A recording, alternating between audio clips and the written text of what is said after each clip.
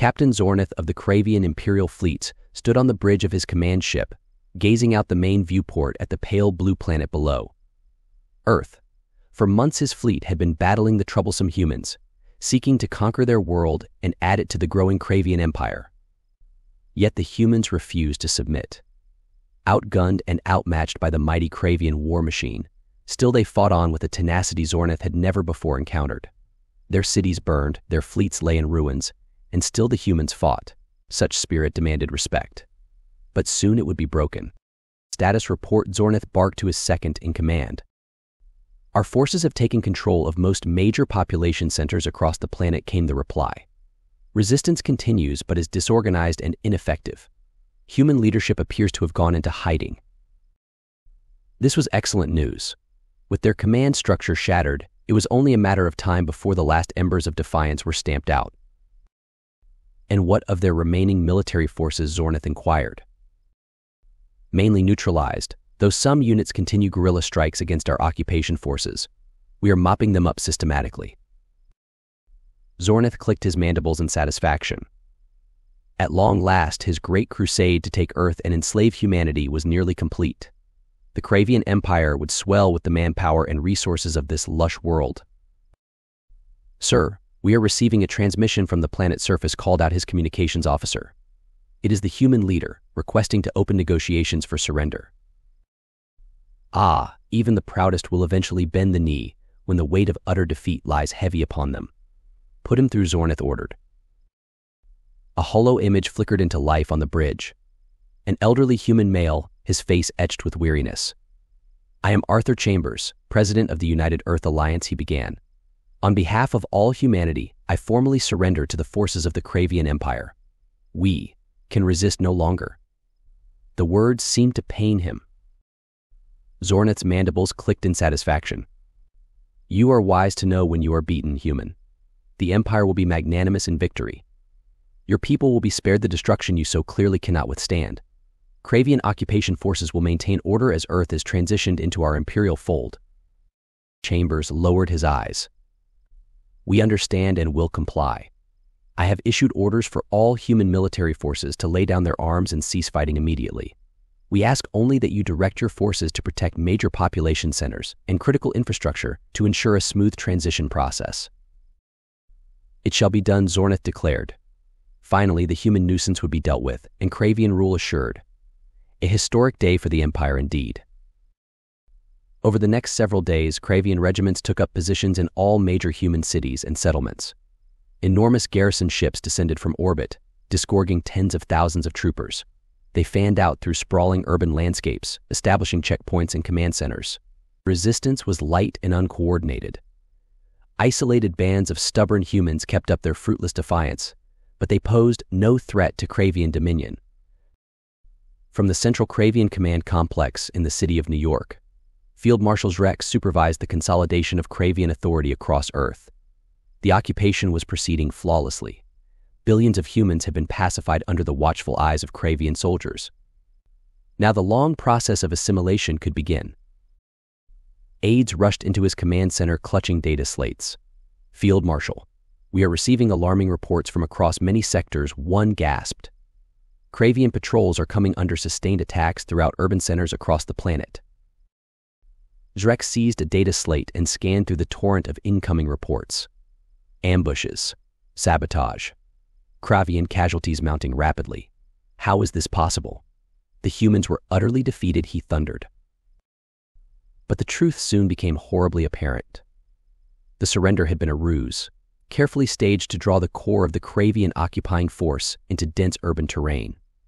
And now, unleashed across Earth's sprawling cities, long prepared networks of human resistance fighters were rising up to strike. Cravian regiments found themselves under relentless assault from all sides, lured into endless ambushes in a bewildering maze of buildings and underground passages. Key infrastructure was sabotaged, isolating Cravian units from support and command. The skies themselves turned against the Cravians, as concealed human missile teams wreaked havoc on dropships and gunships. The Cravians had expected broken, passive civilians. Instead, they found themselves fighting seasoned soldiers on their home terrain. Field Marshal Rex slammed a fist down in rage as casualty reports climbed higher. But there was no time for anger. He had to salvage this disaster. Emergency orders went out to all Cravian units to retreat and regroup in reinforced positions and engage siege protocols. Perhaps they could ride out this storm. But as Cravian forces withdrew, the human attacks became even more aggressive. Makeshift barricades blocked every artery into the city center. Entire city blocks went dark as power systems were targeted. Smoldering dropships littered streets and rooftops. The anticipated safe havens never materialized, every fallback point ambushed in turn. Disciplined Cravian legionnaires dissolved into chaos, fleeing before the nightmare onslaught of the human horde. From the towering spire of the command complex, Zrex watched his orderly garrisons disintegrate street by street, reduced to ruin by the raging human tide. How? How had they concealed such strength after months of grueling warfare? Even now, Cravian heavy weapons platforms poured devastating fire into buildings housing the resistance, yet still they came, surging from subterranean tunnels like vicious insects from their hives. The reports from other cities across Earth were grimly similar Cravian forces in disarray, human fighters inexorably claiming their cities back block by bloody block. There would be no escape, no relief. The trap had closed. Zrex knew now in the depths of his heart that Cravia's great conquest had failed. Captain Zornith strode through the corridors of his command ship, rage growing with each new disaster reported planetside. Curse these humans and their deceit. His grand victory had turned abruptly into impending catastrophe. Down on those tangled streets, thousands of his troops were dying by the hour, fighting desperately against an enemy that knew every corner and shadow. He entered the bridge, issuing crisp orders. Full orbital bombardment began immediately.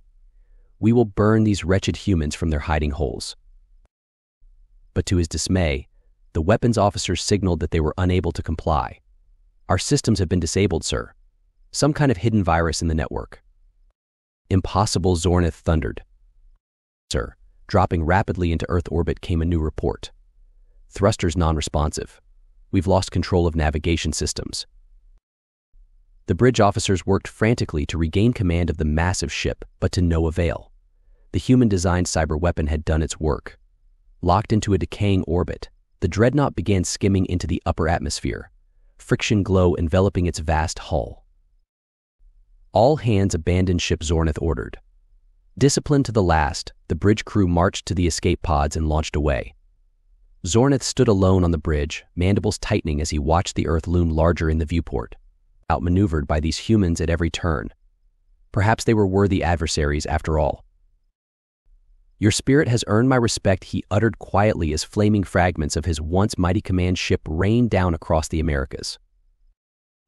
The Chamber of Leadership was hushed as President Chambers watched the ongoing reports from Earth and above it. Haggard military advisors huddled around tactical displays. The ruse had worked, but at terrible cost. Much of Earth's urban landscape had been reduced to rubble by months of orbital bombardment, and fierce fighting continued to rage across every inhabited area. Victory was far from assured. Energy cascades detected across multiple Cravian warships in low orbit reported an advisor, their systems are being disrupted just as planned. One by one across Earth's skies, Cravian capital ships succumbed to hidden malware and lost power and navigation.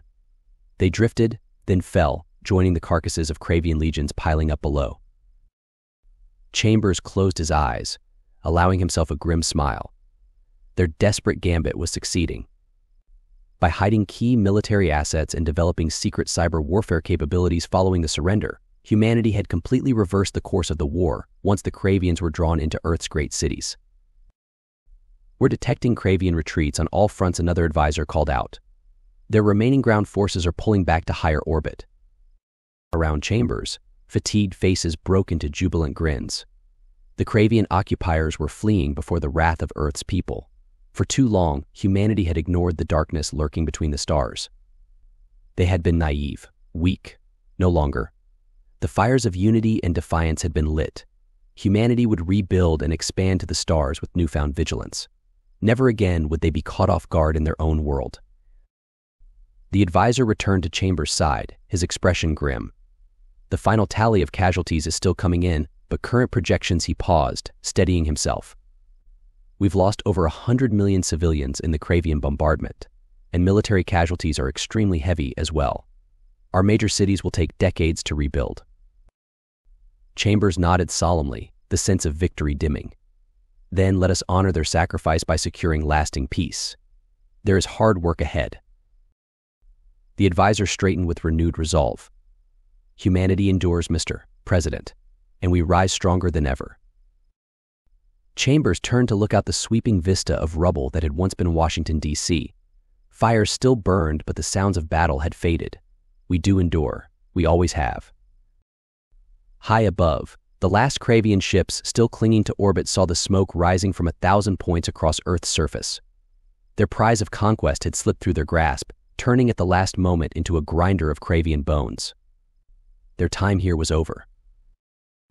As the Cravian fleet withdrew in failure from Earth space, they looked down upon the small blue world with newfound caution.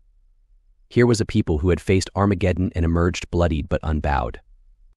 Across the Gulf of Stars, word would spread through Cravian space of the dangers of this unassuming planet called Earth, and the remarkable beings called humans whose enduring spirit could never be broken.